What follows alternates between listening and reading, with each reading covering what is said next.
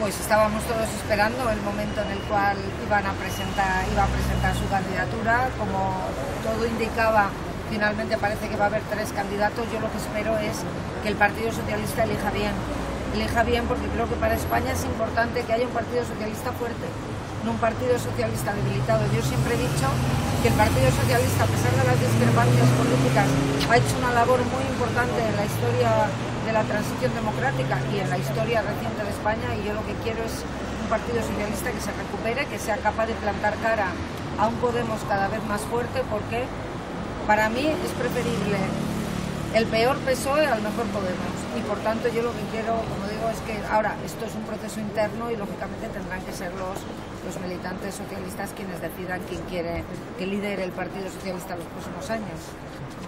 Muchas gracias. Gracias. gracias. Oye, qué calor hace, ¿eh? Que iba a bajar la temperatura.